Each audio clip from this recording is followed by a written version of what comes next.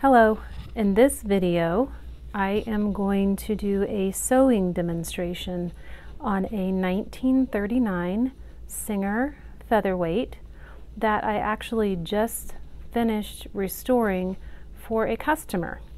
So before I send my machines out, I like to always do a video of the machines actually sewing, let you see the stitch up close, and this is just to share with the customer and anyone else who appreciates a beautiful featherweight. So this one was manufactured in 1939 and some of the things that I love about it is that it has the chrome edge on the hand wheel. And then the nose plate is that beautiful scroll work as well this was in really great condition. Um, it needed to be cleaned up, but overall, the decals for the most part are still gorgeous.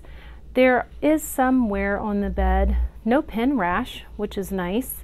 There are a few scratches here and there, but nothing too significant. Considering the age of this machine, it is really beautiful. And the best part is its stitch quality and the way that it sounds is amazing. Now what I did on this machine is besides all of the stuff that I normally do, take it apart and clean all the insides out and put everything back together and then fine tune and adjust it. I did put new feet on. It received a new belt, a new LED light, and I think that's about it. Oh, I also put a new felt pad in the bottom of the drip pan. But the real reason why we're here is not just to ooh and ah over how beautiful it is. I want to do some sample sewing. So that's what I'm going to set up for next. We're going to focus in right here and I will just ask if you hear any banging and clanging. I have actually resorted to filming in my basement today. I have construction going on in my house and it's very loud where I normally film.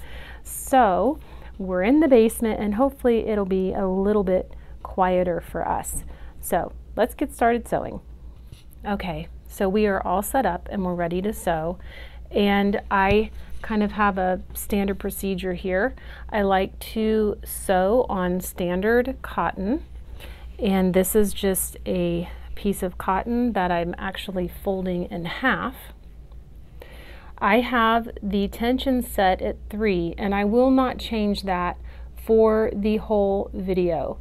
Even though I'll change how many layers I'm sewing over, I'm not going to mess with the tension. That is the beautiful thing about these machines. Generally, you can fix it and forget it. So I have my presser foot up and I'm just sliding my fabric underneath.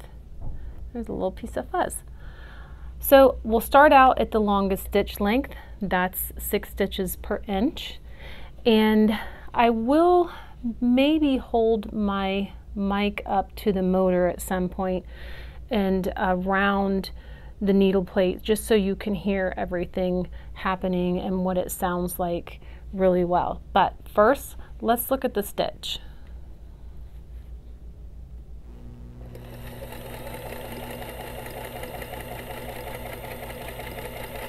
So this is six stitches per inch and I'm going to move it to about somewhere like around 12 I think. I don't know how I got fuzz all over this.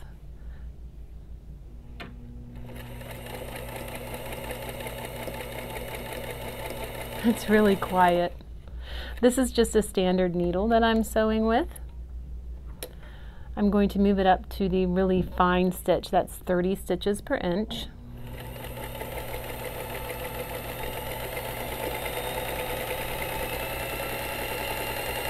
You can sew very fast or you can sew very slow. Partially because this machine is using a new foot control. I decided to put a new one on this I know it's going to be used a lot and I think that overall the new foot control is great because they don't overheat or anything odd that might be a little scary for you. So let's just finish this out and look at the stitch.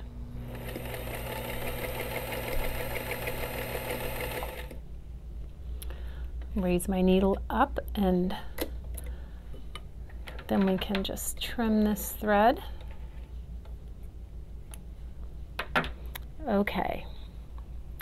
So first we have the six stitches per inch here.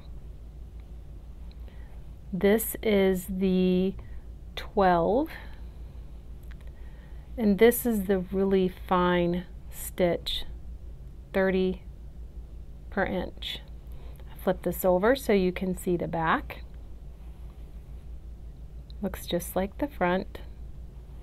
Upper lower tensions have been set properly.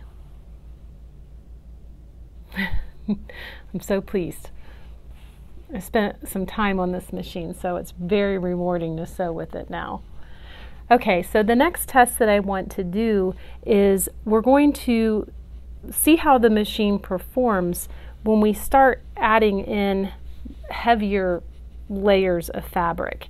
And so I have a very long strip of cotton, and I will do this at 10 I fold the cotton, the long strip, in half. So this is starting out with two layers of fabric. Make sure I have some thread tails to hold on to here. So we'll start by just sewing 10 per inch, and I'll back tack here just so you can see that as well.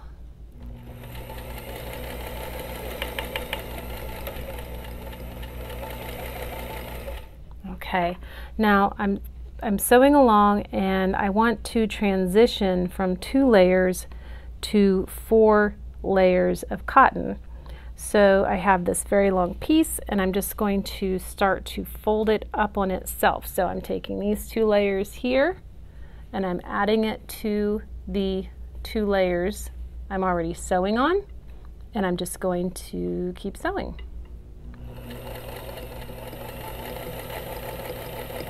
So far, no difference in sound. The belt has been set properly. It's not too tight, it's not too loose. Now I'm going to fold it again. So this is four. Now we're moving up to eight. I want to make sure I catch that. There we go. Still going. And then you know I like to go to 16 so there's eight here. If I fold it one more time, that will be 16 layers of cotton. I'm just going to hold this here so it doesn't catch under on this little fork part of the foot. Into 16. No struggle, no slipping.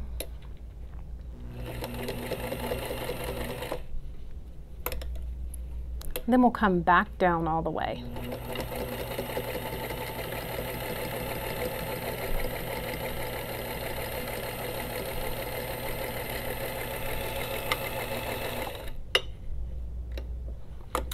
Okay. So here is the front. Here's where we did our back tack. And I want you to pay attention to the stitch length and I think I might have bumped it. Looks like we sewed more at a seven or an eight. But anyway, this is the front back tack all the way around. And this is the back. There's the back tack. As we transition from one layer to another, there's no shift in the stitch length, which is really important if you do not have your feed adjusted properly and it's not tightened to the proper amount of firmness here. This can bounce up or down whenever you start to go over some thicker things. So it's nice to know it's set properly. So now what I'd like to do is just let you hear the machine sewing by taking my microphone that I have clipped to my shirt and holding it up to the machine. So let's see if I can do all of this at once. We'll move this to about a 10. I'm just going to move my microphone so it might sound a little funny. Okay.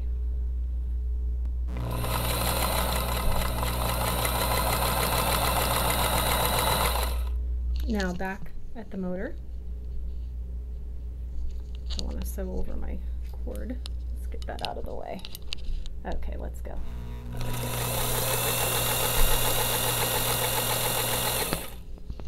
Okay.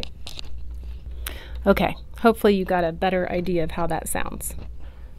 So that's it. As I mentioned, this machine is sold, but this is what I do, and hopefully someone appreciated seeing and getting an idea of what a machine might look like after I'm done restoring it. This will come with the full accessory kit that it came with, the new foot control, and not a case. The case was the only thing that was in bad shape on this machine. So anyway, I appreciate you watching.